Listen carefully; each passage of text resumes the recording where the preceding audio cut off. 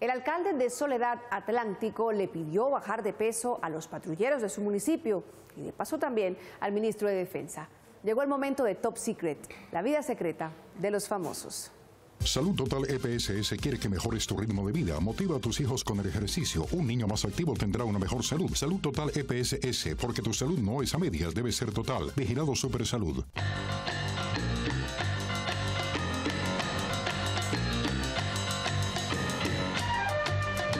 Cuando mencioné que podría ir a La Habana a defender intereses de los ganaderos, ¿resultan estas amenazas? Muy casual.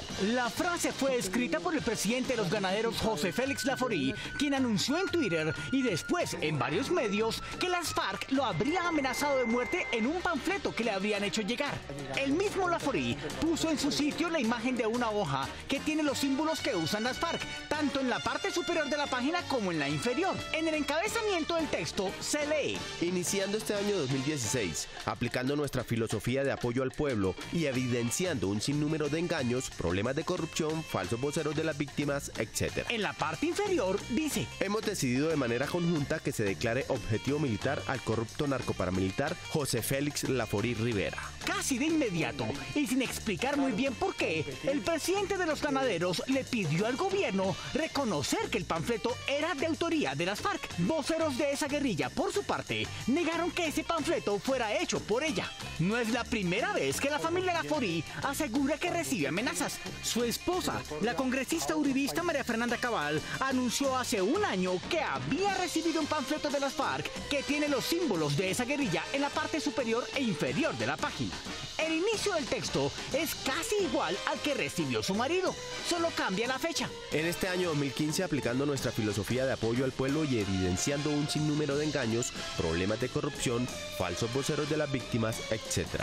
Al final dice, hemos decidido de manera conjunta que se declare objetivo militar etc. Y concluye con el nombre de la congresista. María Fernanda Cabal Molina, política corrupta al servicio de los paramilitares. Comparando ambos panfletos, parecen idénticos, como diría el mismo presidente ganadero. Muy casual. La pareja tiene gruesos equipos de seguridad del Estado para su protección.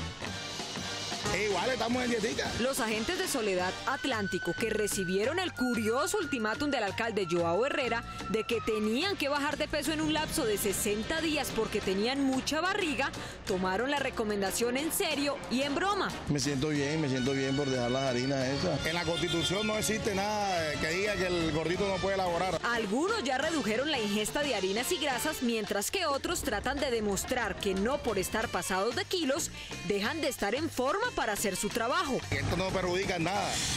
La gordura no perjudica nada, uno se puede allá todo. Pero el alcalde Herrera, que explica su petición, afirmando que la labor policial se ejecuta mejor si el cuerpo es ligero, decidió ir más allá en sus consejos. El mismo ministro de la Defensa, a quien yo nacionalmente le dije que él tenía que hacer un poco de dieta. Si yo era santo, hubiera destituido al ministro de Defensa. Y no, yo no destituyo porque es inteligentísimo, es un personaje de Colombia, pero sí lo mandaría a la fila con los soldados. El ministro Villegas parece haber escuchado la recomendación, porque en los últimos días se le ha notado la dieta que está haciendo. Ánimo, ministro. Falta bajar otros kilos, pero va bien.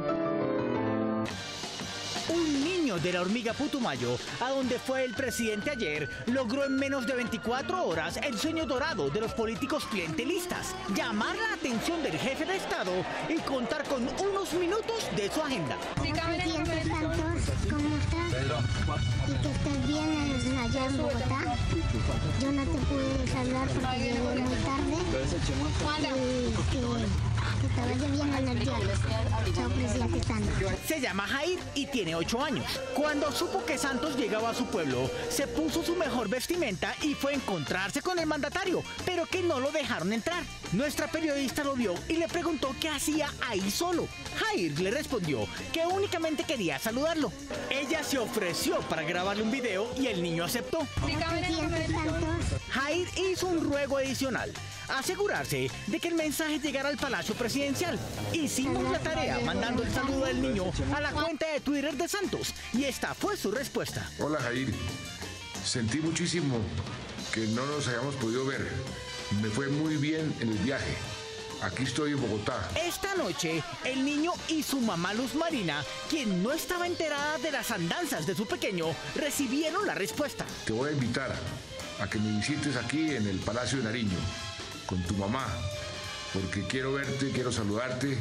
El mensaje que me mandaste me llegó al fondo del corazón. Lo extraordinario de esta historia es que Jair no pidió nada. Nada es nada. Todo lo contrario de lo que hubiera sucedido con los clientelistas del Congreso.